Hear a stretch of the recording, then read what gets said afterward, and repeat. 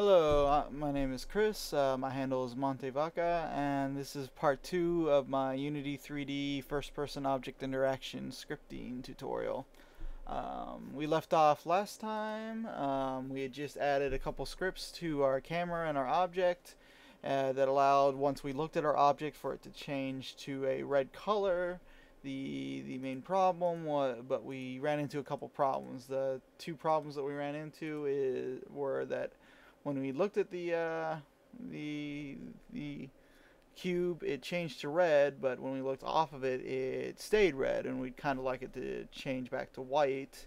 And the other problem is uh, when we looked at the ground, it was giving us an error. Um, we're going to start off by fixing the error on the ground because that's an easy fix. The problem was is uh, we're calling this function each time the the the raycast that we cast um, hits any sort of object with a collider, but uh, this script is only attached to our actual uh, cube. So what we want to do is actually put in a second uh, if statement. What we're just going to do is copy this entire thing except for the on look enter. Copy this entire thing and do is not equal to null. And then that's and what this does is it just double checks to make sure that there is a script attached to the object with the, the uh, collider hit called interact. And as long as there is we'll call the the function within that script. Uh, the the error we were getting was we kept uh, trying to call a function on a script that was not attached to the object that it was colliding to. So if we save this, it has the actual interact script attached to it before calling the function on it. And see right now we're looking at the ground and it's not calling, but if we look at the uh, the actual object we are trying to interact with, it does call the object and it does change to, to red. So that's the first problem that we fixed. Uh, now let's open up the interact script. And so what we want to do is change the object back to white when we are not looking at it. And the easiest way to do this, probably not the most optimal way to do this, we're probably going to have to come back later if we're having problems with slowdown with our game and tweak it a bit. But uh, the easiest way to do this is to go to our update function and just change the color back to white each time. And what this does is uh, each frame, uh, it's going to change the color of this object to white. And then uh, each frame that we actually look at it, it changes, after it changed it to white, it changes it back to red. So a little counterintuitive, but basically all it's doing a bunch of uh, changes and this should allow us to, we look at it, it changes it to red, we look off of it, it changes it back to white that's pretty nice. I mean, and we've got we've got the distance function in, so you actually have to be close enough to it for this to work.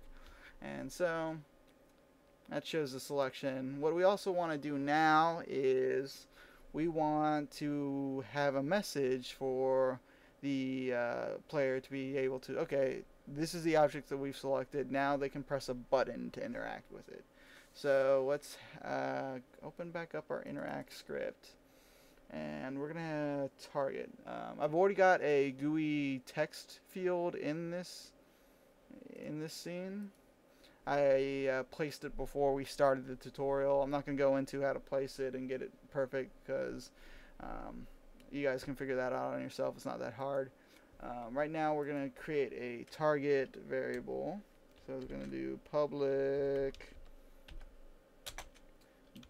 GUI text uh, don't forget to capitalize text. And call it target. And we come down here to on look enter. We're going to do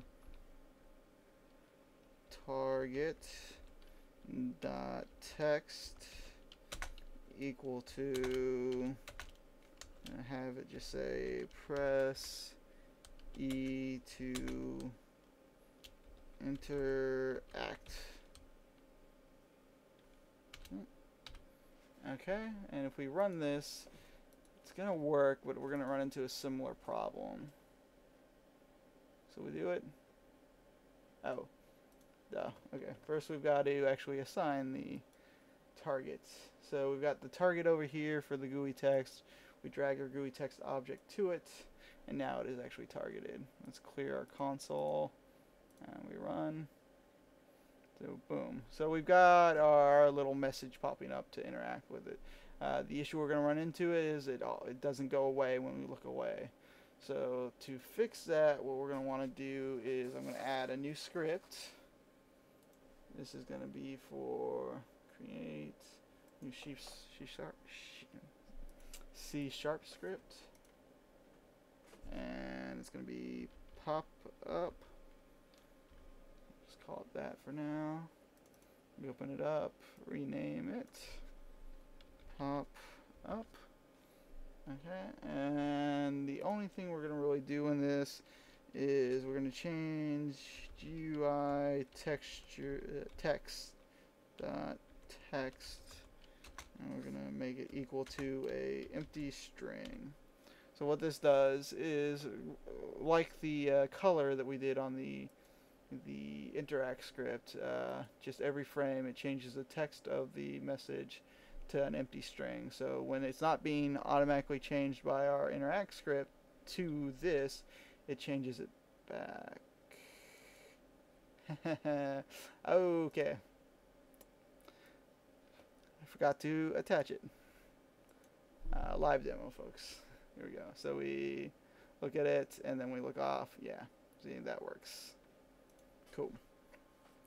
Okay, so we've got that working. Now what we want to do is actually detect a a, a key press. So what we're going to want to do is go back to our interact script. And this time we're going to need to add another function. But this one isn't... Uh, our last function was pretty much defined by us. This one is an already defined function. This one is used for most for event handling. Um, so we got public on GUI. So once we're in here, we're going to create event e is equal to event dot current. Okay. And then what we're going to do is we're going to test e if e dot is key.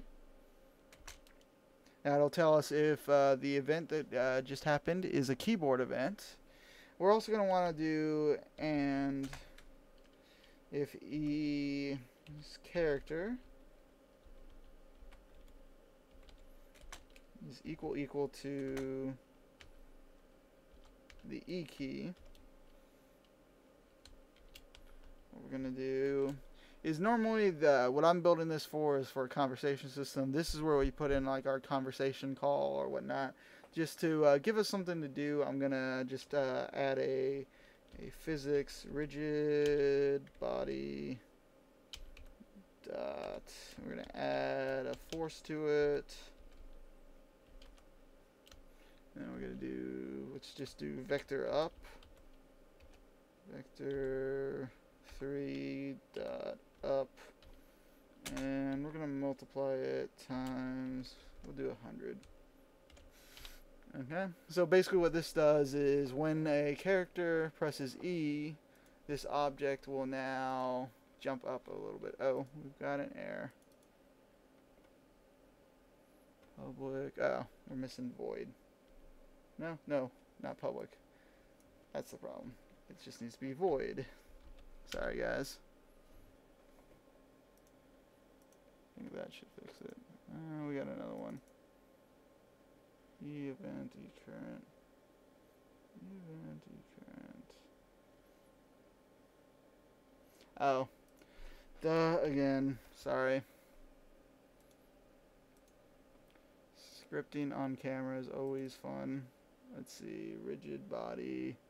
Dot add force. Force needs to be capitalized. There we go. Hopefully, there we go. Yay, error-free script. Okay, so we run it, and we can do the E to interact. If we hit E, it jumps up a bit, Uh, there's a little bit of an error there in that, like, well, it's not necessarily an error.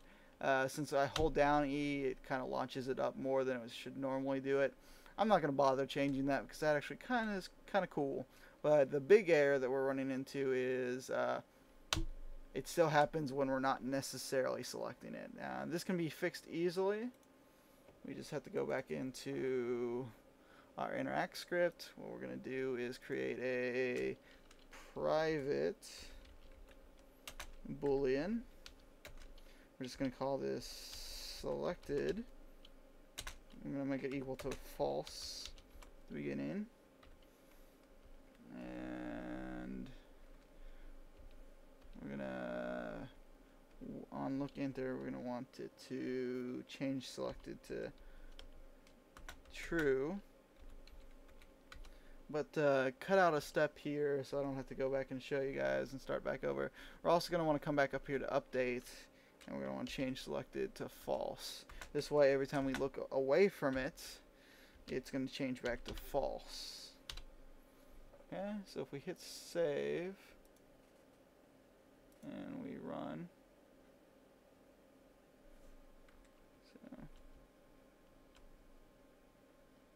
Oh, I forgot to do this.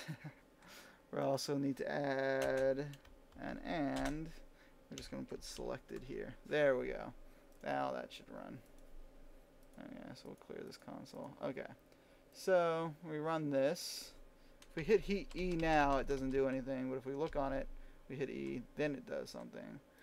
And that's basically my tutorial. I'm going to do something real quick for you guys just to show you exactly that this thing works the way it should. We are going to copy this uh, these cubes real quick to just give you a little taste that it can actually choose between we can choose between each item we can make one item go up just kind of throw these up almost juggling like but yeah this is the basics of interacting through a first person view I uh, hope you guys enjoyed it. Uh, thanks for watching.